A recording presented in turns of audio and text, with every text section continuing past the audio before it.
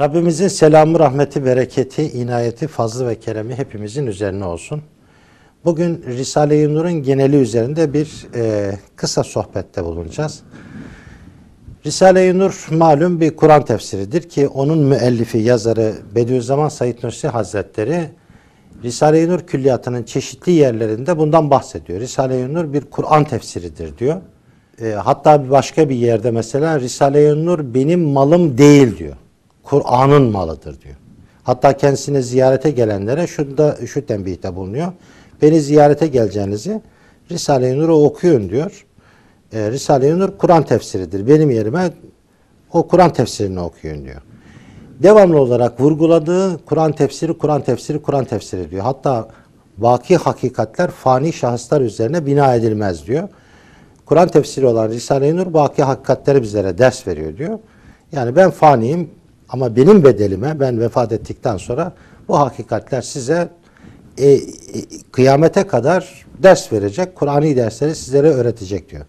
Zaten bu hizmetin adı da Risale-i Nur'dan çıkan hizmetin adına da iman ve Kur'an hakikatlerini neşreden bir hizmet olarak şey yapılıyor. İman ve Kur'an hakikatleri. Risale-i Nur bundan ibarettir. Şimdi madem Kur'an tefsiridir, peki Risale-i Nur'u müzakere ederken, onu okurken tek başımıza olsun, gerekse topluca böyle Risale-i Nur'u okurken nelere dikkat etmemiz lazım? Aslında bunu altı noktada toplamamız mümkün. Altı adım da diyebiliriz, bunu sırayla da yapabiliriz, adım adım. Ama altı noktaya dikkat ederek okumamız lazım. Bunlar neymiş? Şöyle bir bakalım isterseniz. Şimdi Risale-i Nur okurken usul esas şudur. Risaleleri Kur'an ve sünnet ne diyor diye okuyup araştırmak. Çünkü madem Kur'an tefsiridir, o halde bizim zihnimizde, zihnimizin arka planında e, bu olmalı. Kur'an ne diyor diye Risale-i Nur'u okumak lazım. Çünkü bir Kur'an tefsiridir. Onu anlamak maksadıyla Risale-i Nur'u okumamız lazım.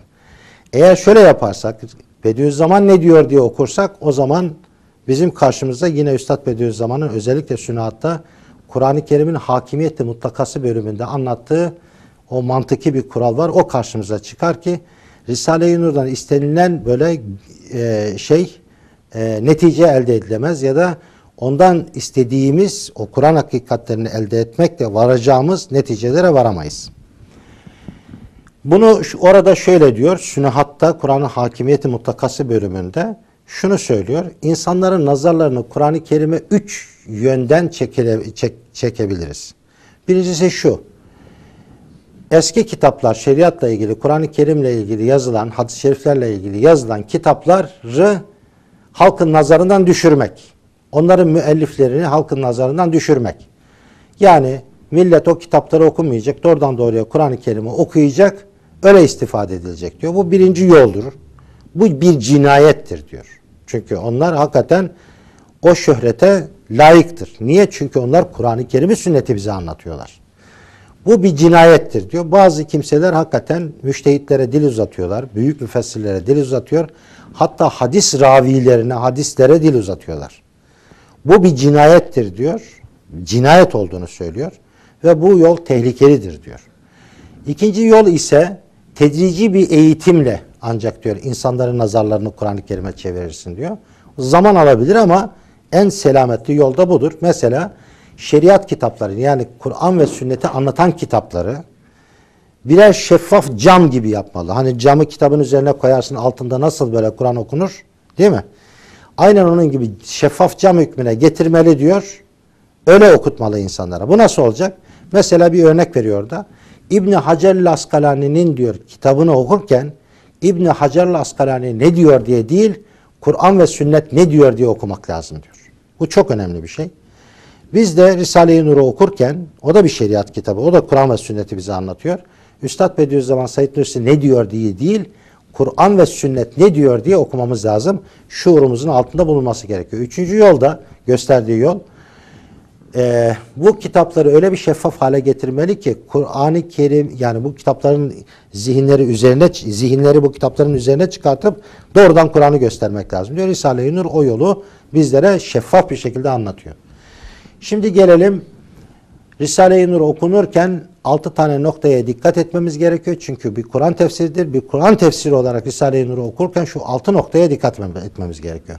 Bir, birinci adım, birinci nokta Risalelerde geçen ayet ve hadisleri mahalleleriyle beraber ezberlemek. Risalelerde geçerken derken burada kastedilen her bir risalenin başında bu ayetler var. Bu ayeti kerimeleri metinleriyle beraber, manalarıyla beraber ezberlemek. Çünkü altta okunan metin aslında o ayetin bir tefsiri hükmündedir. Bunu ezberlemezsek, zihnimize almazsak o metinle ayet arasında irtibat kuramayız. Ezberlememiz gerekiyor. Ezber, manasını da bilerek o metinleri ezberlememiz gerekiyor. Bu birincisi. İkincisi kelimelere bakmadan teenni ile düz okumak. Şimdi Risale-i Nur doğrudan doğruya herkesin seviyesine verdiği bir mana var. Ya da bir maneviyat var, kutsiyet. Doğrudan doğruya Kur'an-ı Kerim ile seni muhatap eden bir özelliği var Risale-i Nur'un. Önce onu düz okuyarak almak, araya hiçbir şey koymamak. Ne bir sözlük koymak gerekiyor ne de herhangi bir e, şahsın açıklamasını doğrudan doğruya okumak lazım onu. Manasını anlasak anlamasak önemli değil. Onu okumamız gerekiyor. Oradan anladığımız kadar ye, mana yeter bize. Çünkü doğrudan doğruya Kur'an-ı Kerim'e siz muhatap olurken bunu yakalamanız gerekiyor. Oradan size verilmek istenen, sizin seviyenize göre verilmek isteneni kavramanız gerekiyor. Bunu bir defa, iki defa, üç defa, dört defa, beş defa, altı defa, yedi defa böyle düz okuyabilirsiniz. Mesela birinci söz. Ben yedi defa okuduğum zaman ancak böyle şey yapıyorum. Oradaki manayı e, az çok kavramaya çalışıyorum. Ya da 10. söze geldik. Çok uzun bir risale. 7 defa nasıl okunur? Okunmaz tabi. Birinci suret ya da birinci hakikati okurken 7 defa okursun. İkinci hakikate gelince orada 7 defa okursun. Ya da 3 defa 5 defa. Peki benim akıl seviyem 7 defada ancak kavradığı için ben kendime göre konuşuyorum. Çok zeki olanlar var içinizde. Bir defa okudu mu gene yeterli. Evet, kelimelere bakmadan ile düz okumak. Yani sayfa altında herhangi bir sözlük var. Ben şunun manasını anlamadım bakayım değil. Araya hiçbir şey koyma. Doğrudan sana Risale-i Nur'un aktarmak istediğini önce bir al. Ondan sonra iki, üçüncü adım olarak ana fikir çıkarma. Burada ortalama olarak bir şeyden bahsediyor. Ayet-i Kerime'nin tefsirini okudunuz. Ayetle irtibatını kuran bir ana fikir çıkartmanız lazım. Burada neden bahsediyor? Bu bir cümlelik bir şey. Özet olarak şundan bahsediyor diye bir şey ana fikir çıkarma o ayetle okuduğun metin arasında irtibatı kuran bir ana fikir. Bunu çıkartmak gerekir. Bu üçüncü adım. Kavramanız gerekiyor. Daha sonra ince işçiliğe başlıyoruz. İnce işçilikte ne var? Bu defa az önce düz okurken bakmadığımız o kelimelere şimdi bakabiliriz artık. Bilinmeyen kelimelerin öğrenilmesi. Burada şu maksat, şu maksat güdülmeli. Manasını bilmediğimiz kelimeleri öğreneceğiz. İkincisi farklı bildiğimiz veya manasından emin olmadığımız kelimelerin not edilerek ezberlenmesi. Mesela inayet kelimesi geçti diyelim orada. İnayet ne demek? Yardım demek dediniz değil mi? Halbuki inayet sözlük manası itibariyle yardım demek. Biz bunu böyle biliyoruz. Fakat işaretül icazda diyor ki inayet diyor bütün maslahatların, yararların, mutluluğun yani e, efendim saadetin kaynağı olan nizamdan ibarettir diyor. İşaret e, işaretül icaza. Şimdi bundan sonra terimlerin manalarını öğrenmesi. Az önce söylediğimiz inayet kelimesi bir terimdi. Sözlük manası da var. Yardım demektir. Ama terim manası ne demektir? Nizamdan ibarettir diyor. Yani düzen demektir. Kainattaki hikmet ve inayet. Hikmet kelimesiyle inayet kelimesi yan yana geldiği zaman Risale-i Nur'da o zaman nizam yani düzenden ibaret olduğunu anlıyoruz. Bu tarz kelimeleri de öğrenmemiz lazım. Yani böyle terim açıklayan, eski tabirle ıstılahları açıklayan bazı kitaplar var. Onlardan yararlanılabilir. Ya da Risale-i Nur'un e, biliyorsunuz hani kelime manalı e, olan söz basım versiyonu var bas, baskılar arasında.